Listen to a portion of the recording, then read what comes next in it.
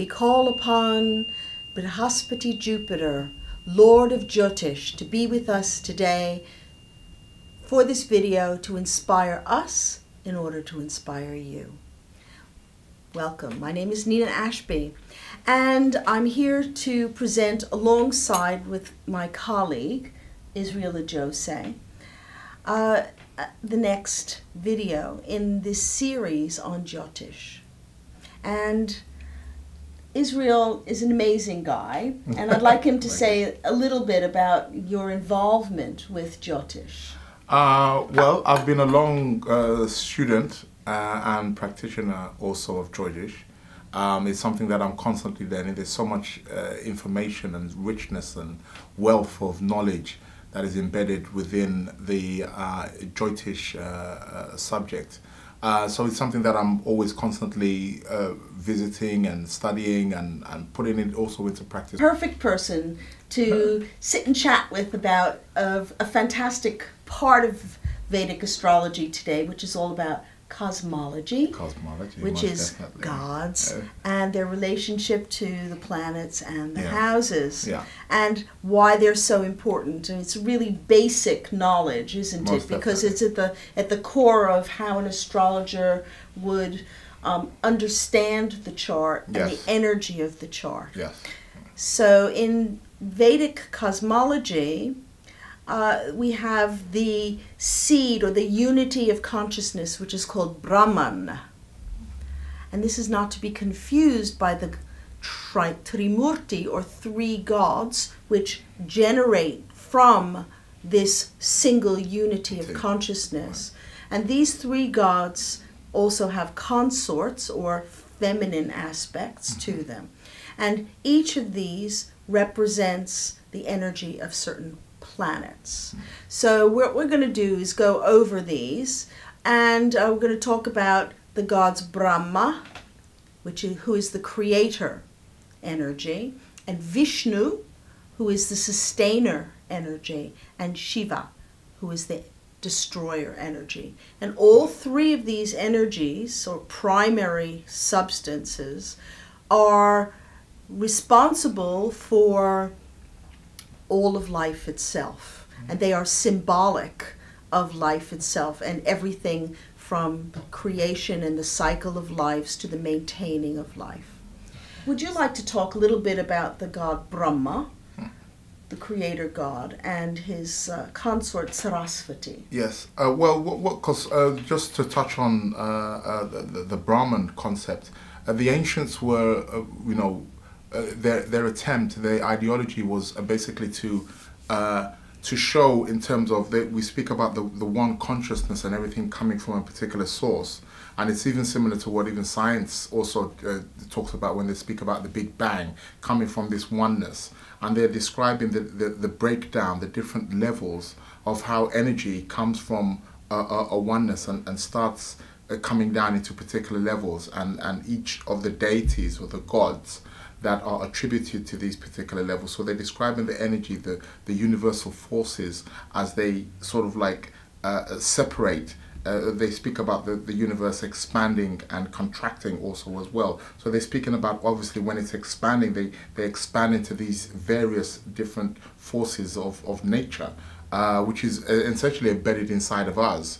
And uh, again, as we're going along, we're going to be seeing how it transpires in the in the birth chart, in the in, in the natal chart. The Vedas as a text were so ancient, they're thousands and thousands Yeah. of years old, and they were not written by humans, Yes. they were transmissions. And in these transmissions, in the books of the Veda, Mm. it is really, as you say, Yeah. an explanation of what we now know as physics, Yes, particle physics. so, um, you know, this is all such amazing rich stuff. Yeah, definitely, definitely. Uh, I, I think the thing is with uh, things like the Vedas and science, we're, we're, we're both talking about the same things. We're just using different words as well. So it may seem like there's conflict, but actually there's not. We're all trying to actually reach and understand that that same essence of, of the universe. Yeah, So, yeah, cool. yeah. So we start with Brahma, who's the Yes. creator, Creator, God, yes. and his consort Saraswati. Mm. And their energies are all about creativity, Yes. um, fertility. Yes, yes. And they the creating energy is an initiating kind Yeah, of energy. yeah. So it relates very much to the signs of the zodiac Mm-hmm. that are what are called cardinal signs signs, at the yes. beginning of a season. Yes. So that in energy initiates itself. Yes. Like Aries Mhm. or Capricorn or Cancer. Uh, yes, and- Libra, and Libra. yes.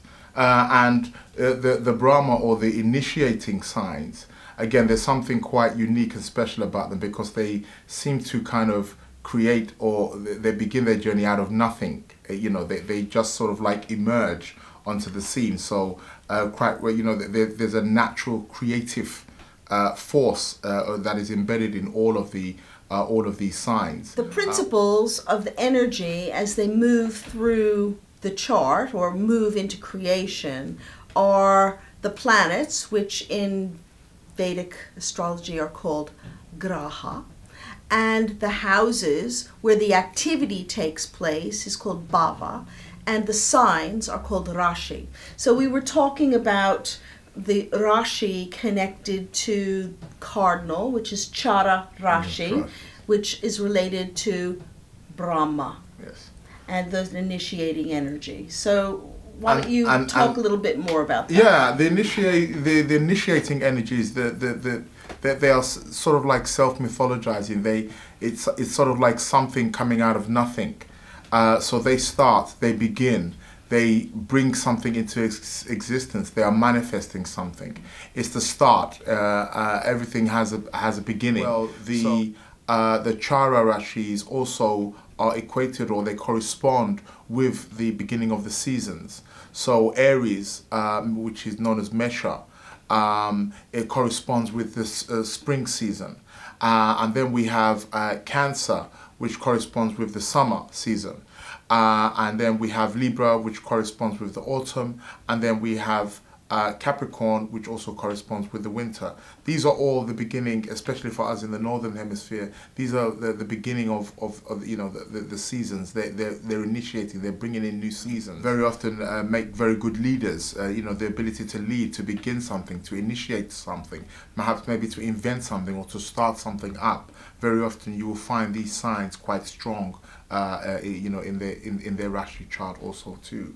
So they have that that that that Brahma, uh, uh, uh, you know, cre- the, the, the creativity. We're looking at uh, Saraswati, um, who is the goddess of wisdom, uh, music, music, sound. Again, the the Vedas speak about um, you know in the beginning the you know sound, the sound Om, which is again connected and you know in with the, the music we can see why she's obviously the goddess of music because sound is very very important it's one of the first things uh, again going back to science for example they speak about the big bang if you're talking about a bang we're talking about a sound So- here and sound, of course, all our thoughts are silent sound. Most definitely. And everything to do that everything that happens in creation starts as a thought. Thought, yes. Thought starts as a thought in the mind of God, right, of Brahman, yes. And then comes down through Brahma and. Saraswati, the masculine and feminine counterparts Yes. of that creative drive Most and creative definitely. energy. yes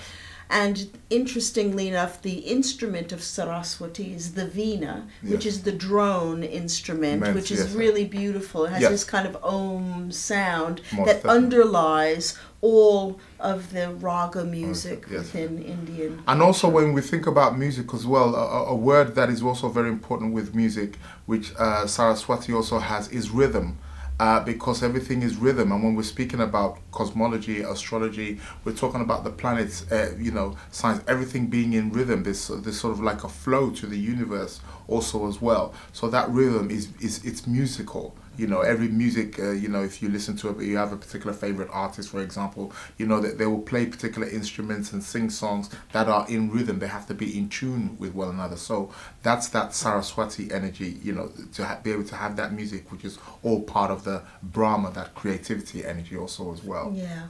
So just to, for a little bit of Vedic review. Yes. So the sign of Aries is Mesha, and the sign of Cancer is Karkata, and the sign of Libra is Tula, Tula. and the sign of Capricorn is Makar. Yes. And all of those are under the Chara Rashi, or the plan, uh, the um, the sign Right. relating to the The cardinal beginning, signs. the beginning initiative. initiating energy. About the kind of the earthly, what is manifest within the Yes. in the earth. And we look at the um, the chara rashi, the energy moves out, and then it has to become physicalized Oh, yes, in some yes, kind of yes. way. Yeah. And um, so that sustaining energy has to do with the movement of life force through all of creation. Yes. Right? most so. We talked about cycles, and then these cycles are then manifested Mm. through that. This is called Dvisva Bhava Yes, Rashi, Yes, Rashi. and it relates to dual signs. So um, the dual signs often have two energies connected to them. Yes. And so, why don't you talk a little bit about that? Yeah. So the uh, dual signs, uh, as it is, when we speak about dual, we're speaking about two. Uh, you know, the, you know, the, they have that duality, the double. Uh, when we look at uh, a, a Gemini, the twins, for example, and we see that double, or Pisces with the two fish also as well. So there's something dual orientated about it, and they they, they, they, they you know they maintain because they they're jumping from one thing to another. So by doing that, they are sustaining, which is what that Vishnu energy essentially is about. We spoke about the Brahma, which is the creativity, creative energy, the initiating energy. Well, that initiating energy now gets passed on or crosses over to Vishnu, who now takes that energy and now sustains it. And it sustains it with the dual signs by bouncing one with the other. So you have the, the you know, it's uh sort of like maybe like a game of tennis, maybe you could think of that is, you know, one's bouncing against the other, which is that's what keeps the match going. Yeah, uh, you know, a, a tennis player can't play by himself or herself. They need the two in order to be able to keep the game going. So that is the the, the Vishnu energy, and also we have the Lakshmi is also Prosperity, Yes, wealth, yes, but it's also about kind of the home and the maintaining of the home and Most the family and yes. and and how abundance and prosperity and money and all the things that are that make life Yes. um, kind of grounded Yeah. in reality and keep us moving on a from a day on a daily as basis, basis, you know And when we think about money, uh, just going even to, uh, to Lakshmi there, when we think about wealth, uh, which is connected with money and resources and things of that nature, uh, one of the words uh, in, in Western terms which is used for money is currency. Mm-hmm. Uh, and again, currency is something, again, that it maintains, it, it has to keep on going. There's a consistency there. Uh, it, it, you know, it sustains us, you know, uh, you know, so it, it keep keeps flowing. It, It's a keeps. It's a current. It has to keep on flowing, and it keeps on back and forth. Uh, you know, we may talk about the stock markets and so on as it goes up and down, but there is a constant flow as we, you, you know, we can see. So again, that is, the, um, the Rashi, which Yes. are Gemini or Mithuna, yes. and Virgo, which is Kanya, Kanya. And Sagittarius, Dhanu, and Pisces is Mean. Yeah. So obviously, you know, this is popping up on the screen to give you a, a thought, some thoughts about, you know, a, a reference to it. But these Rashi are very, very important because this is about how energy keeps flowing as it manifests down through the planes. So oh, now we finally come to the, the third level of manifestation of energy. We've come from initiating energy, chararasi, to um, sustaining energy, dvisvabhava rashi, to now we come to sthira rashi. And sthira rashi are the fixed signs and that are relate to the god Shiva and the goddess Parvati. So Shiva and Parvati are are the destroyer god and goddesses. So everything that has come into creation and been maintained at some point needs to break down and become neutralized in order to re- be recycled again. And the reason that these destroyer gods and goddesses are so important and that they're relating to the fixed signs, which seems a bit odd, but the the fixed signs want to stay fixed. They want to stay where they are. So, for example, um, Scorpio or Vrishchik Rashi, uh, uh, sorry, Vrishtik Rashi, Rashi, um, it's fixed water. It's like the lake. Nothing is flowing in, nothing's flowing out. It can only go down deep. And they just want to keep everything within themselves emotionally until they explode or, or the dam bursts. And that's when Shiva comes and bursts the dam, or Parvati comes and bursts the dam. It can't remain the same because everything needs to keep flowing in the universe. So Shiva and Parvati are very important. And in helping consciousness and transformation to take place. Um, there are, for example, in a forest fire, some plants you think, oh, it's so horrible, the trees of the forest is Yeah, burned down. right. But some plants only germinate Yeah. with very high heat, and Yeah. then they, that's how they survive, and that's how they maintain themselves. So everything has its cycle, and the destruction is very much part of the cycle. But it's not something that people tend to like very much. Yeah. It's the difficult or the darker side of people's Yeah. charts, and that's why it's very interesting to look at Sthira Rashi Yes. and the energy Yes. that Shiva and Parvati bring, as well as the other gods and goddesses aspects. definitely. Yeah, because uh, uh, there's something about uh, uh, uh, with the sthira rashis is that they, uh, because of their fixed nature, it, it, it, it brings that part of ourselves, the part where the ego uh, doesn't, you know, holds on and it wants to stay fixed. And like you stated before, you know, everything has a cycle. It has a beginning where we talk about Brahma. It's been sustained by the Vishnu energy. And then uh, Shiva and Parvati also have to then come and now bring an end to it. They have to destroy that. So the destruction is really the part of ourselves, the part of the, our, our ego, which is hanging on and doesn't want to let go, perhaps maybe because of certain fears.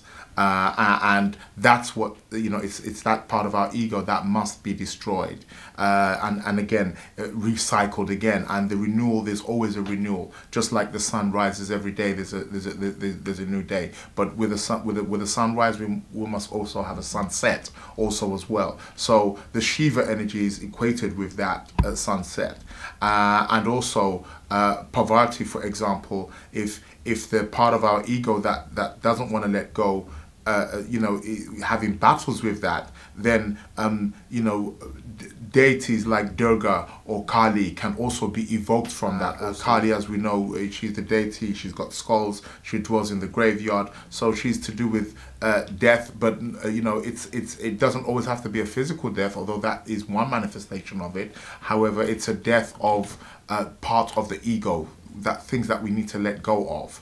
You see, so all of those signs, the sthira rashis, are all showing us uh, and teaching us parts of ourselves that we need to let go of and we need to transform in some way, shape, or form.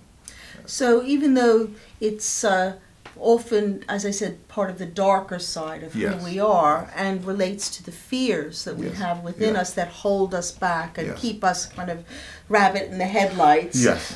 Yeah. There's the, the positive nature is that the, all of the Sthira Rashi are about concentrated intensity of energy. And in order to achieve things, Yes. you need to have that a, a fixed quality, um. something that's going to dig deep or dive deep. Yeah. And what happens is that that fixed nature makes them very reliable in Yes, a lot of oh, ways. most they don't like things to change, Yeah. but at the same time, they can get a, a tremendous Most- amount yeah, yeah, done. uh, most definitely. And it, it also gives a, a tremendous amount of loyalty uh, and, you know, that ability to be dependable on and reliable also as well. Mm-hmm. So it's a great energy to have. Uh, and it's all about how we, uh, you know, our, our, our dharma, our path, uh, how we choose to utilize that, you know, uh, because it can work against the us. uh, Rashi or signs Mm. that relate to the Sthira uh, Rashi are uh, Taurus, which is Risha, and Leo, which is Simha, Simha. and Scorpio, Vrishik, Vrishchik, and Aquarius, which is Kumbha. And um, so all of these signs are very focused, concentrated. They like a lot of attention, too, I think. Definitely. Yeah. A lot of attention around them, and they have to do with change. And this is why, uh, again, when we get, start getting more into the Graha and the nature of the Grahas, uh, uh, uh, you know, uh, Grahas like, uh, you know, Rahu, for example. Uh, which in in Western terms we refer to as the North Node, the, the, the one of the nodes of the Moon, uh, uh, is, is is very much comfortable in that in one of these particular signs, especially Kumbha, which is Aquarius. So uh, when we're going through particular uh, transitions uh, that, that are related or connected with Rahu, they are very transformative. It's a time where we may have to do a lot of shedding and, and letting go, but also we need that fixity, uh, that stability also to be able to, uh, it allows us to be able to penetrate and, and be able to see ourselves through those particular times. Transpires in the natal chart, in the Rashi chart, um, is that it's showing us how each of the gods and goddesses in their own right uh, manifest in our Rashi chart and how they can be utilized and how we can better understand their energy and their qualities also Uh, as the well. Brahman. We're speaking about the initiating energies and we're speaking about the Vishnu, which is the sustaining energies, and the Shiva, which is the destruction energies, the ending energies. We're, we're, we're allowing you to have a glimpse, an insight into the nature of each of these uh, uh, Rashi signs into through your chart embody the gods and goddesses and the energies of the divine within you. So we'd like to thank you very much for joining us in this video and hope that you are inspired